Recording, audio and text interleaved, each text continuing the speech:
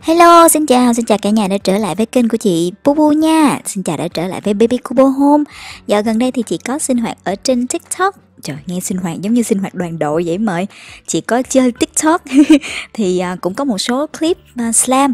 Và chị phát hiện ra là đa số các bạn hình như Có một số bạn thì biết rất là rành rẽ về slam, Nhưng mà cũng có một số bạn thì chưa biết gì về slam.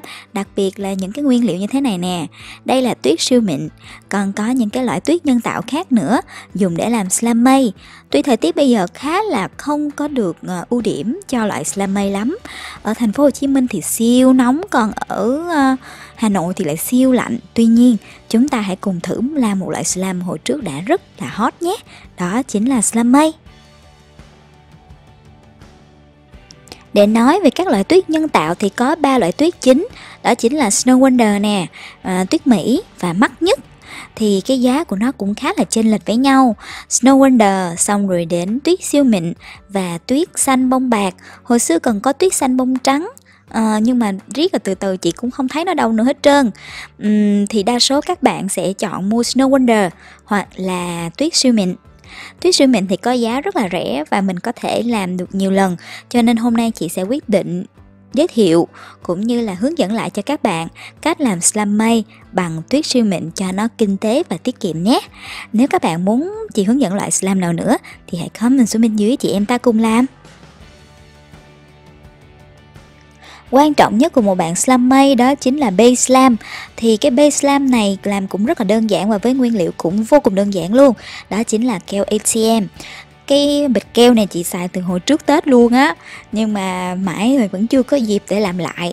Dạo gần đây bầu bí em bé cho nên là không có thời gian làm slam, hôm nay mới có thời gian tranh thủ đây.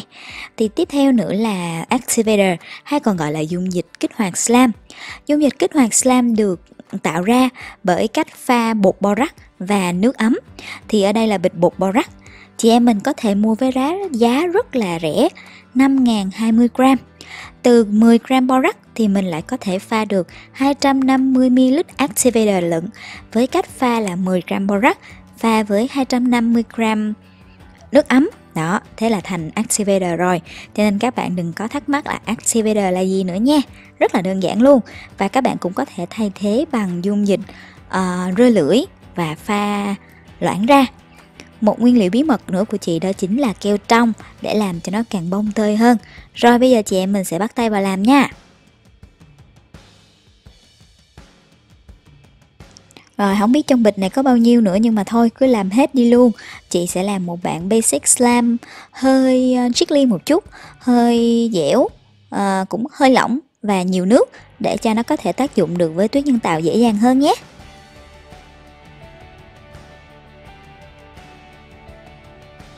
Tiếp theo chị sẽ cho nguyên liệu đó là nước. À, hai phần keo thì một phần nước sau đó hòa trộn đều lên um, để tạo thành bạn slam và sẽ cho dung dịch activator vào.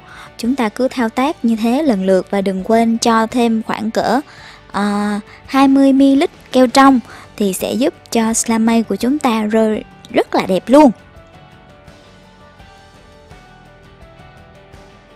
Đây, sau khi cho dung dịch làm đông activator vào thì nó sẽ có cái hình thức nó như thế này. Nó sẽ đóng lại và kiểu như mình pha activator mình pha hơi loãng một chút thì nó sẽ đông chậm hơn. Còn nếu mình pha đặc quá thì nó sẽ dễ bị vón cục.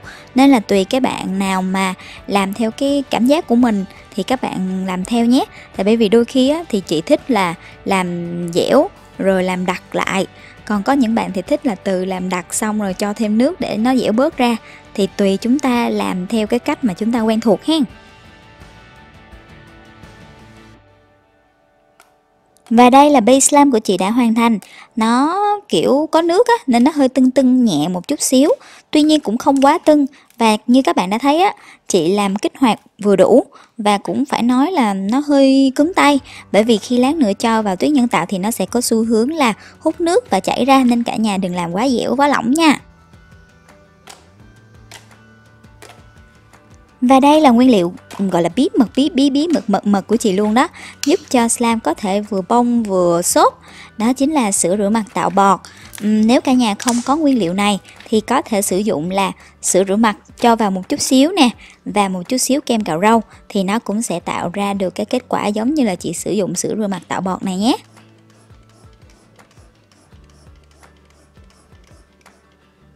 À quên, khi mà chọn sữa rửa mặt á, thì cả nhà cũng nên chú ý là đừng có loại chọn cái loại nào mà nó có nhiều hột uh, cái gì mà làm sạch sâu đồ này nọ nên chọn cái loại nào mà nó ghi ngoài chữ là tạo bọt nhiều. Bởi vì có những cái loại sữa rửa mặt thì nó cho bọt rất là ít còn có những loại sữa rửa mặt thì siêu siêu siêu siêu nhiều bọt luôn ưu tiên mấy loại đó nha.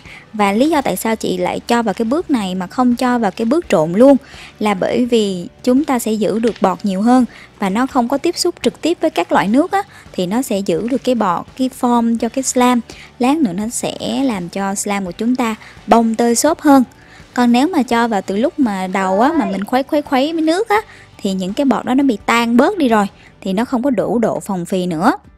Ban đầu cho vào thì nó sẽ hơi rời rạc như thế này nhưng mà không sao, cứ tiếp tục bóp thì nó sẽ form lại với nhau một cách rất là dễ dàng thôi.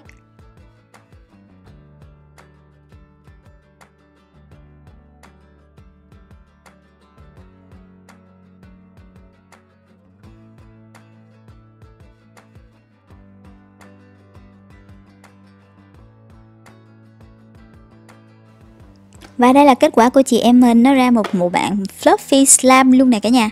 Rất là phồng và nhìn giống như mông em bé vậy đó. Đã ghê, nó tưng tưng tưng mà cái cảm giác mình phốt xuống một cái cục slam nó phồng thì nó đã gì đâu. Nguyên một cái ngón tay nó ngập ở trong slam luôn. Và bây giờ thì nó đã hoàn thành rồi. Tại đến lúc chị em mình phải trộn với lại tuyết để trở thành slime mây thôi.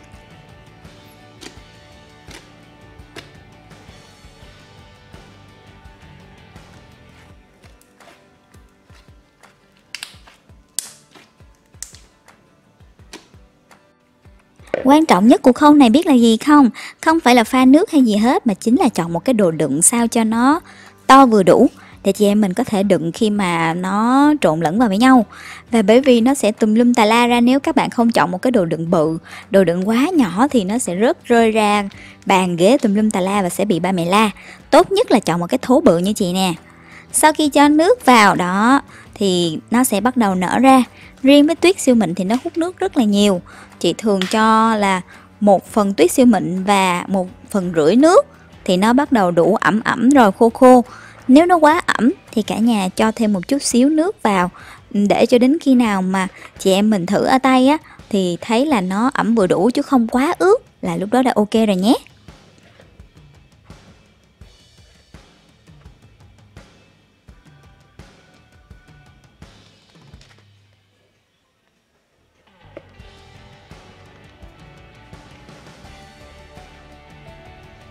Và các bước còn lại thì chỉ đơn giản là cho bạn base slam này vào và nhồi thôi. Nhớ chị yêu cầu là nhồi nha cả nhà. Bởi vì ban đầu nó sẽ rất là cứng cũng như là rất là khó để chị em mình có thể kéo ra kéo vào để thử xem cái độ ờ, thấm của nó như thế nào. Nhưng mà nếu mà chúng ta cứ nhồi một lúc sau tất cả các cái bạn uh, tuyết á nó sẽ thấm vào cái bạn base slam này rồi. Sẽ rất là dễ cho chúng ta kéo. Đừng có quá hấp tấp vội vàng. Hãy kiên trì nhồi cho đến khi nào bạn ấy hấp thụ hết nhé.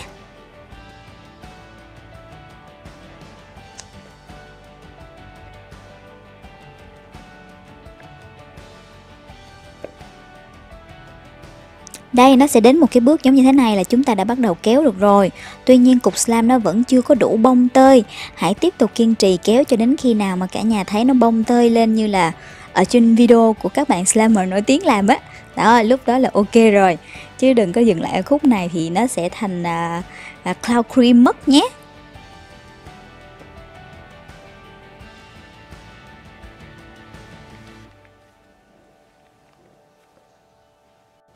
Và đây là sau khoảng 2 phút chị kéo ở trong cái ờ, đống đó, chị chỉ có cắt bớt đi thôi chứ không hề là chỉnh sửa video clip. Hoàn toàn bạn này là được làm bằng tuyết siêu mịn. Các bạn thấy không? Mới làm xong nó cực kỳ bông. Và mình để qua thời gian dài thì nó lại càng bông tơi hơn. Chúng ta hãy cùng thử cái độ rơi của nó sinh ra sao nha. Wow, chị thấy nó rơi rất là đẹp đấy.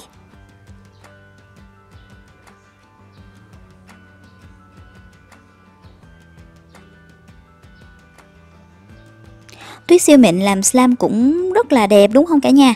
Nếu so với lại Snow Wonder thì cũng giống như là một tám thì phải một mười vậy đó. Đó Thì cái bạn này 8 chứ không phải bạn này 10 đâu nha.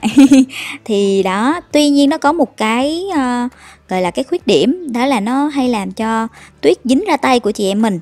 Nhưng mà quan trọng nhất á, là khi mà quay phim thì nhìn rất rất là bông tơi và xốp và đã con mắt. Nên là đây cũng là một cách để chúng ta có thể thử nghiệm các loại slam mây bằng các loại tuyết. Và đôi khi chúng ta không thể mua được Snow Wonder thì sao? Vẫn phải dùng tuyết siêu mịn chứ sao bây giờ, đúng không? Mong là các bạn à, đã thành công với cái công thức mà chị chỉ ngày hôm nay. Nó rất là đơn giản và ít nguyên liệu luôn.